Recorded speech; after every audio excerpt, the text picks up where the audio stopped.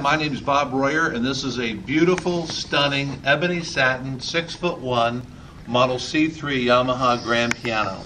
I was a Yamaha dealer for 25 years, and this is the the state of the art, meaning the people who really were professional pianists, they wanted a 6-1 C3 or they wanted a C7, which is a 7-4. We have serviced this piano. It came out of a house. And this classic ebony satin is really beautiful. A lot of people don't want the high gloss look, and um, this is really beautiful. Back in the old days, I'll say in the 80s and 90s, um, all the Baldwins, all the Steinways, all the Mason and Hamlins were all ebony satin. So this is really beautiful. And Yamaha made this specifically for the American market because everybody in Asia and in Europe wanted the ebony polish. So uh, this is made for the American market. It's all original. It was used in a home. It was absolutely, absolutely gorgeous home. Uh, we offer a 10-year warranty, just like a brand new Yamaha Grand. It covers everything but normal maintenance.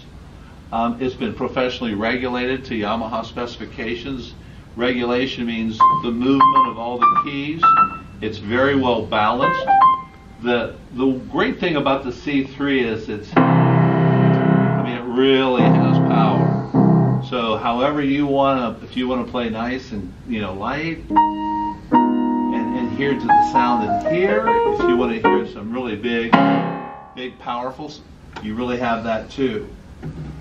We're really, the, the when we sold these Yamaha C3s in the 80s and 90s, we would sell them brand new for 15,000, then it was 20, then it was 25. They retail at $50,000 now. They could be 59,000 is what I heard.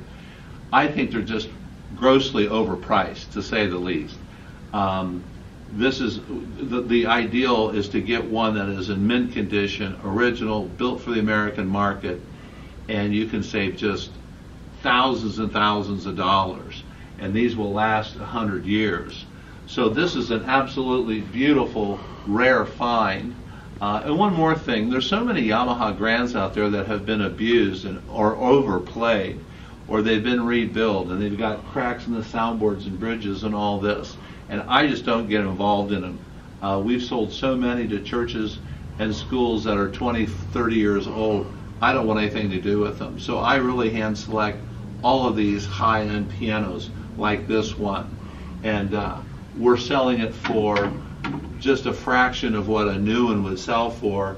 And I love this piano sound. Here's Greg to show you how, how great this sounds.